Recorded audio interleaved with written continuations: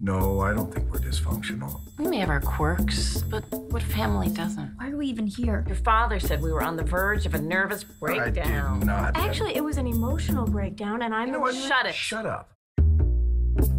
What about our marathon for manic depression? Pancreatic cancer kills that many? That's great. How's it going, Mr. Burnett?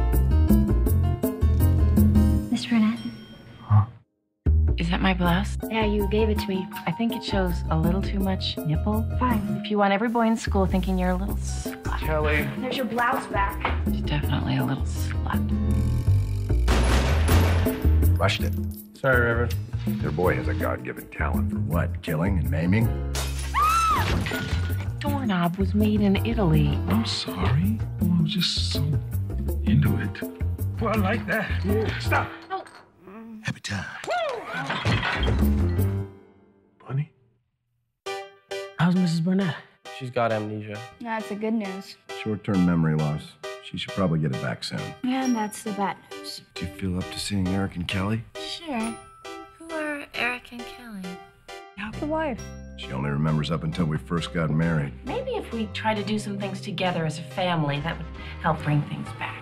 Whoa, I think I'm gonna be sick. Yeah, that'll work.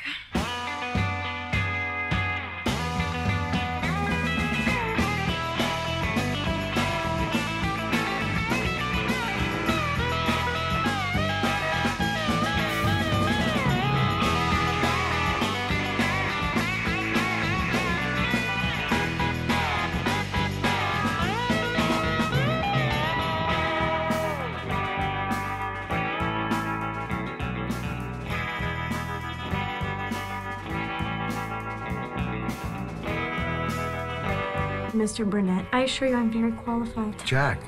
Why don't you call me Jack, Rachel? You can't call her Rachel. Why not? Here we go. Call her doctor. She's not a doctor. You're not a doctor? That's just great.